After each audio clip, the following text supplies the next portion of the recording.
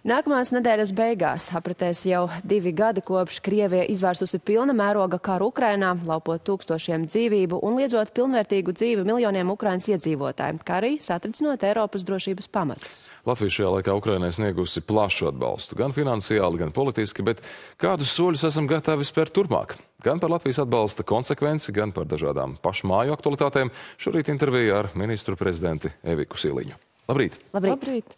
Sākumā gan sāksim ar izglītību par skolu finansēšanas jauno modeli un atbalstu tam koalīcijā, lai varētu veikt izmaiņas normatīvos, normatīvos cik plašs un cik tieši atbalsts vispār šobrīd ir visas koalīcijā, visā koalīcijā šai reformai, jo zinām, ka ZZS neatbalsta. Šodien arī apvienotais saraksts stāstīs, kā viņu prāt varētu paglābt pat līdz pusēji no, tā teikt, skol, slēgšanai nolemtajām skolām. Kāda tad ir tā koalīcijā šobrīd valdošā sajūta? Apvienotais saraksts nav koalīcijā šobrīd. Kā papildus, kā papildus, jā, kā papildus jauns strāvojums un ierosinājums. Bet jā. tas skaidrībai mēs uh, esam vienojušies arī ar ZZS, ka mēs uh, divu nedēļu laikā veicam tādas intensīvas sarunas ar visu reģionu pašvaldībām, sākotnēji noteikti nu, tādā lielākā kopumā, pēc tam jau būs nepieciešams arī atsevišķi, bet ne tikai ar izglītības ministriju, eh, jo tas, kas pašvaldībām interesē, ir vairāki tādi jautājumi, kas ir svarīgi vai bērni un kā varēs aizbraukt uz skolu, ja kaut kas mainās. Un noteikti arī šobrīd ir tādi jautājumi, bet, protams, ja uh, top kaut kādas jaunas izmaiņas, ir svarīgi saprast, kā šajās jaunajās izmaiņās varētu bērni nokļūt un, un no skolas. Tāpat arī ir jautājums par autoceļiem. Es arī biju pati Latgalē, tikos ar skolām un pašvaldību vadītājiem. Šie jautājumi bija aktuāli.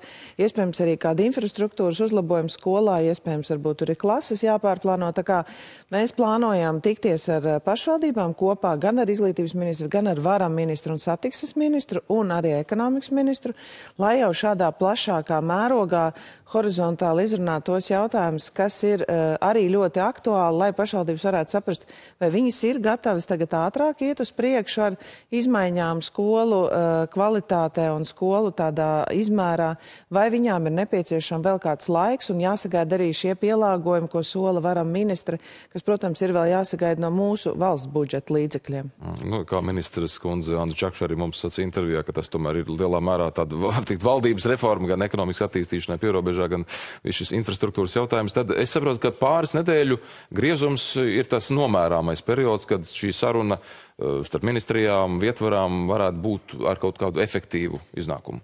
Kurā gadījumā es esmu pārnājis arī ar izglītības ministri, man, manuprāt, jau ir skaidrs, ka šobrīd, tagad, eh, kā bija iepriekš plānots, eh, visiem pielāgoties pilnīgi vienādi jauniem modelim, nu, es nezinu, vai reāli izskatās, ka tas ir nereāli.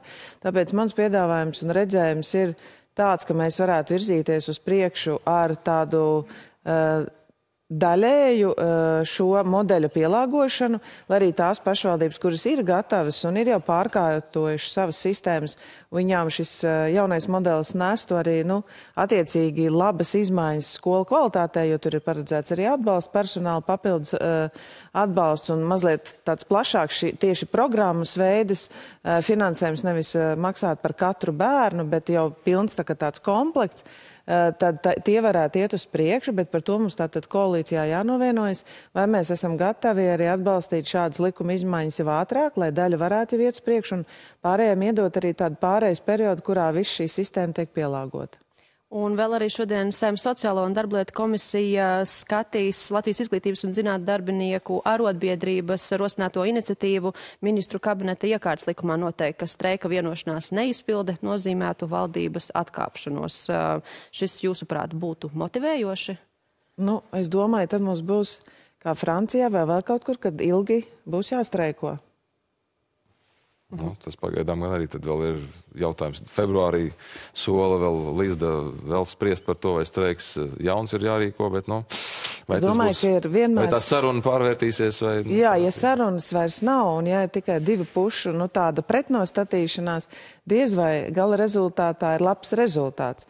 Es domāju, ka rezultātu var panākt tad, eh, ja ir abu pušu saruna, ja spēj vienoties, saprast, eh, kas ir tās vajadzības, bet ja ir tāda, nu, sevis uh, no, pretnostatīšanu otram, tad mēs paši zinām, tad saruna neveidojas. Un līdzīgi kā ar zemniekiem, es esmu ļoti gandrīt, ka mums izveidojās veidot sarunu. Es arī saprotu, ka tās problēmas bija sakrājušās, valdība bija gatava uzklausīt un turpinam arī tur darbu. Un vienā daļā jau darbs jau ir, jau ir kaut kas pat jau izdarīts. Tā kā, manuprāt, vienmēr labākais ir veidot sarunu, bet es nezinu, nu, valsts, kur ir šādas normas, kā tagad tiek piedāvāts. Mhm. Par zemniekiem, ja pieminējāt, varbūt arī varētu vaicāt uzreiz protestu pagaidām ir imušies, bet no zemnieku saimnes saka, ka tā zemā starta pozīcija vai aktivitāte tiek saglabāta. Esot tie Eiropas Savienības līmeņa un nodokļu jautājumi, protams, kā jūs arī pat esat teikusi, tie ilgāku termiņu prasa, bet cik ātri var sakot risinājumu šajā jomā, jo tūlītēji daži labojumi jau ir veikti, bet, nu, protams, ka 5% PVN tas nav ne rītdienas, ne parītdienas. Nu, tur bija trīs dažādi veidi jautājumi, kas bija tādi tūlītējie, ko mēs jau esam daļu zemkopības ministrija jau ir izdarījusi, tur bija vajadzīga komunikācija. Tāpat šis jautājums par graudu regulējumu, kas saimā jau ir iesniegts, tā tad uh, ir vienošanās, kādā veidā mēs ejam ar to uz priekšu. Bet par to pozīciju Eiropā savukārt? Uh, bet nu, pozīcija Eiropā ir vajadzīgs laiks, uh, jo pie pozīcijas Eiropā ir jāstrādā. Uh, jo šobrīd notiek arī Eiropas komisijas līmenī jautājumi par zemnieku nu, savādāk veidu regulējumu.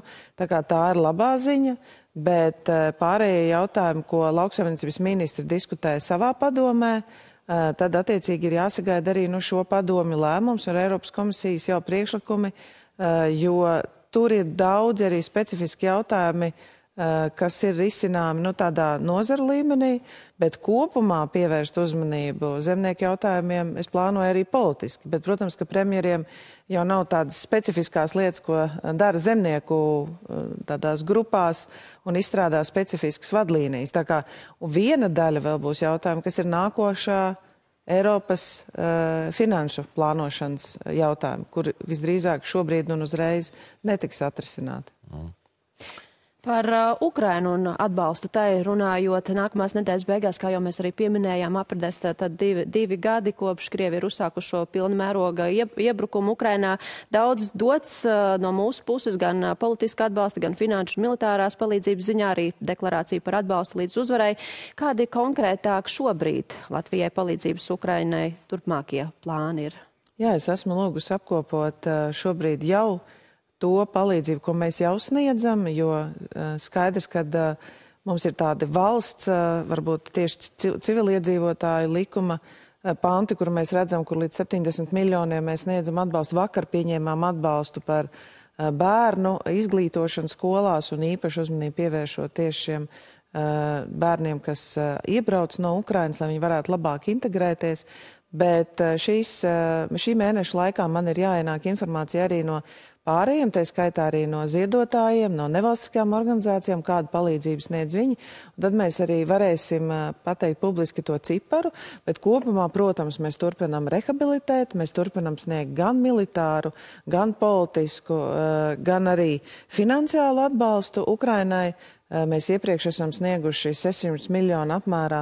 Un arī šogad turpmāk plānojam sniegt atbalstu, bet par to summu tā tad vēl dati tiks apkopoti, jo jūs redzat arī, protams, Twitter konvojas darbojās, ir arī daudz tādas iniciatīvas, kuras varbūt nav tīri tādā valdības budžeta rāmī iemērāmas, bet manuprāt būtu svarīgi, ka mēs maksimāli spējam apkopot visu šīs iniciatīvas un tiešām arī ar tādu lepnumu un, un, un cieņu pret Ukraiņiem sirdī pateikt, ka jā, mēs to darām un mēs turpināsim to darīt visa sabiedrība kopā, ne tikai valdība. Par pašmai drošību, ja runājam, vakar iezīmējās tāds viens cits kādu laiku jau atkal neaktualizēts, varbūt publiskajā telpā temats par valsts zāļu rezervju fonda veidošanu, kas, kā mums norādīja attiecīgo aģentūru speciālisti, nu, kopš 22. gada, kad Covid iezīmēja plaisu piegādēs, esot plaši un smalki diskutēts, bet līdz taustāmām risinājumam īsti nav nonācis. Tad politiskās gribas atkal formulējuma trūkums. Jā, vai tas tāds grūdienis šim jautājumam tieši tagad nebūtu vajadzīgs? Jūs būtu arī gatavi šim arī piešķirt kādu impulsu no savas puses, lai šis valsts zāļu rezervu fonds. Bet man veidot. nav sajūta, ka tur nenotiek, jo mums krīžu vadības padomē tieši tāda mums bija jāsasauc arī pēc likuma kopā ar visām ministrijām. Katrai bija jāsaprot, kas ir tās viņu jomas, vēl jūtīgās tēmas, kas arī no civilās aizsardzības nav atrasināts. Un tad veselībai tieši zāļu jautājums ir viens no jo šobrīd ir jau slimnīcām trīs mēnešu rezervē jābūt, bet ir noteikti Eh, skaidrs, ka eh, veselības ministrs strādā, nu, lai nebūtu uz papīra, bet bei, lai būtu tādā realitātē. Arī šie zāļu krājumi, un cik man ir zināms, tad arī no šīs civilās aizsardzības pozīcijas viņi arī veido uh, papildus nepieciešamo sarakstu, kas vēl būtu vajadzīgs ne tikai slimnīcās, bet kopumā vēl uzturēt citas zāles, kas varbūt būtu jebkuram iedzīvotājiem vai neatliekamai medicīnas palīdzībai vajadzīgas. Tā kā notiek vienkārši darbs turpmāks pie šo zāļu uzturēšanas. Un veselības ministrijai ir iedoti diezgan liela budžeta līdzekļi. Tāpat mums arī ir papildus finansējums gan ekonomikas ministrijai, gan vēl vairākām ministrijām, kurām ir uzdevums rezervēt, turēt arī dažādas šādas preces, kas būtu vajadzīgas krīzes situācijā. Ekonomikas ministrija, pieņemsim, arī ir viena no tām, kurām dažādas preces ir jātur, ja kaut kas pēkšņi notiek. Nu, tāds secinājums, ka kaut kas ir komunikācijā, laikam tad īsavienojumā sagājas, ja cilvēki, kas atbild par šīm lietām, uzskata, ka tomēr diskusijās pārāk ilgi esam iestrēguši. Nu, jūs sakat, man grūti spriest, man Jā. tādas diskusijas uz galda nav bijušas īsti. Labi. Kā problēma.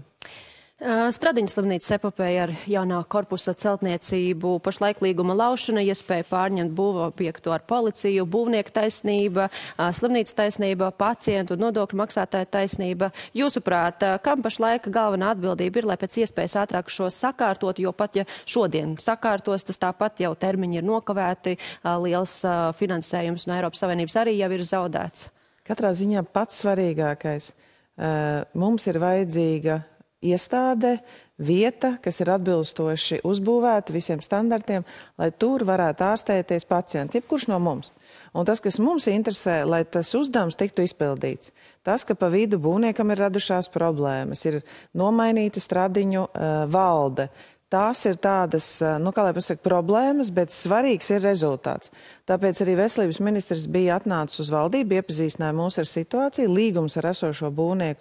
Es saprotu, ka esošā uh, slimnīcas vadība ir lauzusi, un mani interesē tas, lai tas rezultāts būtu, lai slimnīca būtu uzbūvēta, un lai tur pēc iespējas drīzāk pacienti varētu ārstēties. Tas, ka pa vidu ir radušās dažādas juridiskas nianses, nu viņas ir jārisina, tāpēc mums ir valdēs un padomēs uh, ielikti uh, izvēlēti cilvēki, kuriem ir arī par to jāatbild, viņi saņem arī pienācīgu atalgojumu, Un es arī sagaidu, ka no viņiem būs eh, skaidra gan juridiska, gan arī tāda operacionāla rīcība, lai nodrošinātu, ka būvniecība turpinās. Mm. Nu, un visbeidzot, arī tomēr jāietā mums ir par nu, diezgan jau arī ielgušu epopeju saistībā ar jūsu partijas biedru priekšteču amatstāju Krišāņu Kariņu šiem te lidojumiem ar privātajiem reisiem. Tagad Ārlietu ministrijas atbildes uz kolēģi, kas notiek Latvijā jautājumiem, apliecinājuši, ka daļu no tiem specreisiem tomēr nu, nevis Eiropas padomas ģenerālsekretārs ir apmaksājis, bet no Latvijas valsts budžeta diezgan liela daļa arī ir bijusi. Nu, te, tas jautājums rodas, kāpēc, ja šī taisnība, nu, kāpēc ir šī mīklas bilde tik ilgu laiku, ka ir skaidrojumi, dažādas atrakstīšanās, nu, ka ir grūti varbūt atzīt un uh, nu, to. to patiesību pateikt, nu jā, varbūt nebija kaut kas izreikināts, nebija šie visi reisi līdz galam komerciāli apzināti, bet nu notiek tāda kā visu laiku saspēle, nezinu, slēpšana faktu, pēc tam atkal no jauna atklāšana. Tas vēl kās tik ilgi vienkārši. Kāds jūsu skatījums uz to? Nē, nu, man prāt, uh, ir svarīgi, lai uh, šādi dati, uh, un tāda ir ministrija rīcībā, uh, tiktu tātad arī pareizi atspoguļoti. Uh, Skaidrs, ka ir iespējams pie uh, dažādu ministriju interpretācijas, vienmēr ir iespējams arī kaut kādas nepilnības, bet mans uh, uzstādījums ir, ka nu, šiem datiem ir jābūt iedotiem pareizi. Ja tur ir bijušas kādas kļūdas, nu, tās, protams, vienmēr var koriģēt, tad izskaidrot, kas tad tur īsti nav bijis uh, skaidrs. Bet uh, nu, es noteikti pārnāšu arī šo situāciju ar valsts kancelējas vadītāju, un ja būs kaut kāda nezinu, man būs sajūta, ka tā situācija vai informācija nav pareiza, nu mums būs jāuzsāk arī attiecīgi pārbaudi, jo, nu viens ir, es saku, cilvēcīga kļūda ir cilvēcīga kļūda, bet ja ir skaidrs, ka uh, arī īsti ar šo informāciju un datiem kaut kas nav kārtībā, nu tad būs jātaisa attiecīgi pārbaudi. Sekosim arī tam līdzi. Paldies, ka radāt iespēju būt pie mums rītā. Paldies par sarunu. Paldies. Veiksmīgi.